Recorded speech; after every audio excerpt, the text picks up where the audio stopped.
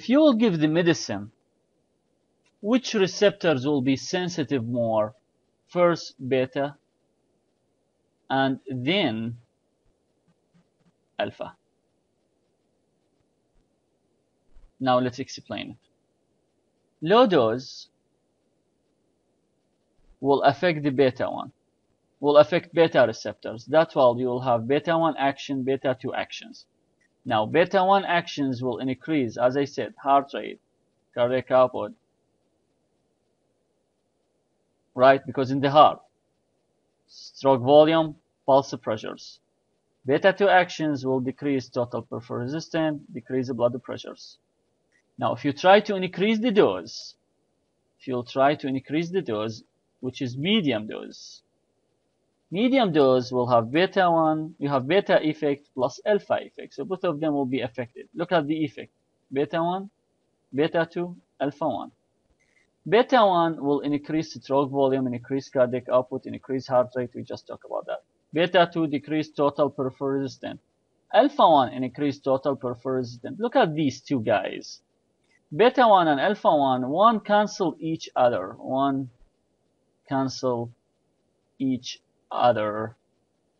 So the end result will be just increase systolic blood pressure, which is basically increase pulse pressures if you give medium dose. Now finally, if you give high dose, I told you, no beta anymore. Beta is really not predominant. Now alpha predominant in high dose because beta sensitivity will be decreased. So that's mean you are talking about decreased total peripheral resistance, decreased blood pressures. Now these are explanations, not the diagrams. Now I made mistakes. I just now remember when I put all of these together. All of these are the actions, sorry, of not the norepinephrine. All of these the actions of epinephrine. Yeah, sorry. That's bad. all of Yes. I want to interrupt, but I was like, I maybe I. Yeah, yeah, no problem. Sorry. Yeah, because I'm I'm in a hurry to talk about this. Norepinephrine is the one that's before. Yeah, let's let's start this again. So all of that actions of epinephrine, I will correct the first page. Epinephrine, guys, the idea is always, always low dose beta sensitive more than alpha. So you give low dose epinephrine, beta will predominate. If you give high dose epinephrine, alpha will be predominant. If you give the middle, one will cancel each other because the action is one opposite each other. So that's why you will get only beta. Now let's, let's explain this page together.